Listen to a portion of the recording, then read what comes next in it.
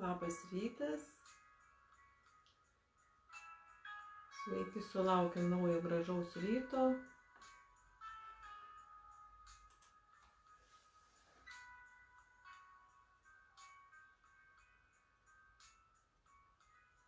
Sveiki, pirmi prisijungiantis.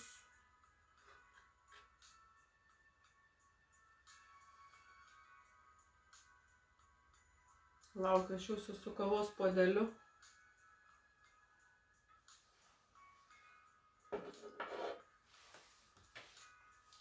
Labas rytas, Gailutė Marija,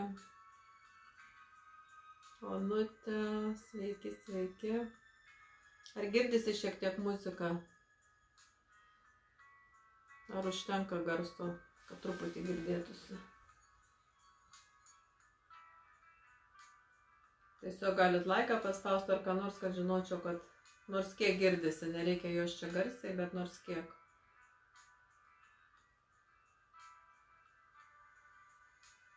Labas, Edita, Mindaugai. Labas, Audronė. Girdisi. Gerai tada. Tai šiandienos tokia trumpa žinutė iš kurėjo yra e, tas suvokimas, kaip jį pavadins, samoningumas, suvokimas, e, kad e, mes įgaunam ne dėl to, kad mes kažką tai padarėm, nusipelnėm, tiesiog ateina laikas, atsiveria tos naujos durys, kaip ir kalbėjau, mes gilin ir gilin į šaltinį galim eiti vis nuolatos, tai nėra pabaigos, nėra pabaigos taško tokio. Mes visą laiką galim eiti į priekį ir gilin į, į šaltinio tą žinią, į tą išmintį, į tą informaciją. Tai šiandienos tokia trumpa žinutė yra, kad reikia tą priimti, tą išmintį ne kaip darbo rezultatą, kad tu labai stengiasi kažkokius labai didelius darbus nuveikiai, bet dėl to, kad tu esi, kad tu eini savo keliu ir tu ateini į tą tašką, kai tau atsidaro vėl duris. Taip kaip duris vidury kambario mums neatsidaro, duris atsidaro, kaž, kai mes prieinam prie durų ir, ir kai mes jas atidarom. Tai va šiandienos praktika ir bus tokia, kad e, mes prieisim prie tų durų ir ir tiesiog žiūrėsim, kam atsidaro jos natūraliai, o kam reikia kažką tai išsivalyti ir kažko tai atsisakyti, nuo kažko tai turbūt iš, išsilaisvinti ir tos durys bus jums atidarytos. Tai jeigu pasiruošę, užsimerkiam, nurimstam.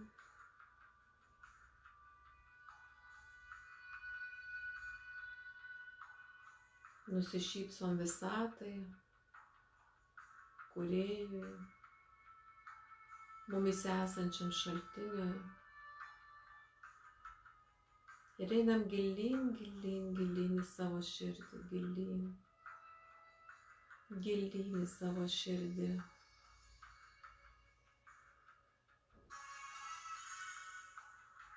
Ir perink šaltinio vibracijas, tavyje esančio šaltinio vibracijas. Pajausk jas. Susiliek su jomis.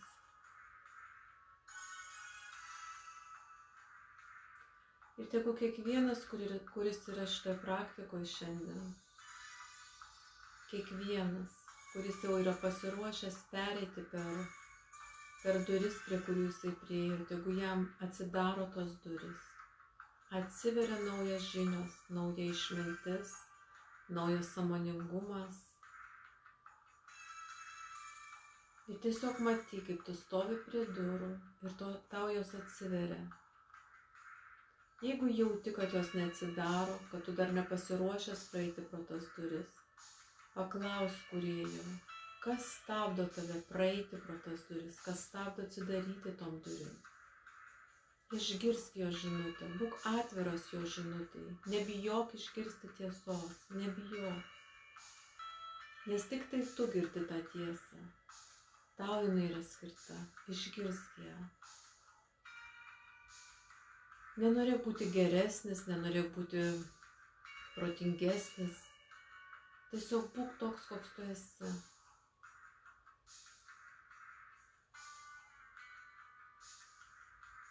Nusimk visas kaukės, kai kalbėsi su kurieju. Nusimk visas uždangas. Nes kuriejas yra tavyje.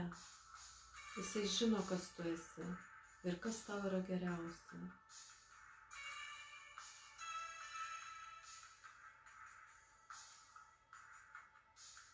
Ir jeigu tu išgirdai trukdžius, kliūtis, kurios neleidžia tau praeiti pro duris, tegu visa tai dabar būna išlaisvinta, išleista iš tavęs. Paleisk viską, kas trukdo tau praeiti pro tas duris. Išsilaisvink, nebelaikyk. Paleisk. Pripažink tai ir paleisk. Ignoruoti nereikia. Pripažink ir paleisk.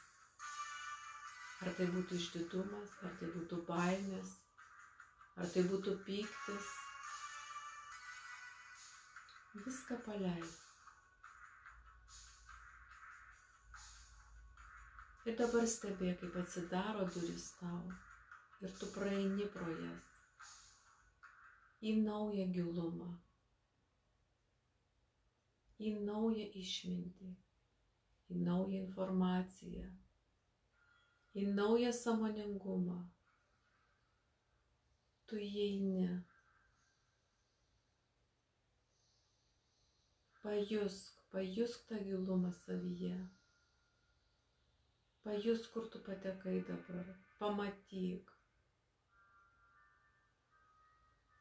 Pamatyk.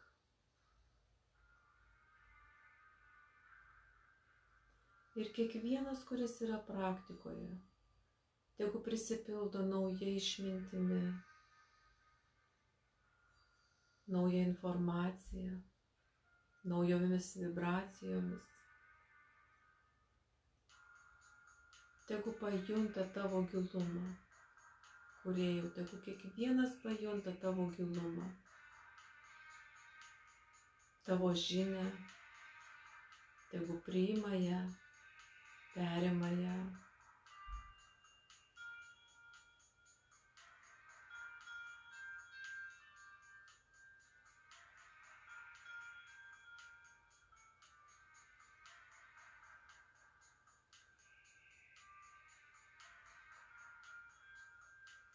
Su visišku pasitikėjimu, su pagarbiu nuolankumu, tu eini tolyn, gilyn, tu priimi viską, kas tau yra duota, o viskas, kas trukdo praeiti kurėjo energijai, išsivalo, išsiplauna. Ir palieka tave ir visą tavo astralinį kūną. Ačiū kiekvienam, kas buvote šiandien praktikoje. Nuostabios jums dienos ir iki pasimatymo rytoj 9 val. grupė energetinis gydimas su Gedrina. Sėkmės jums yra ten.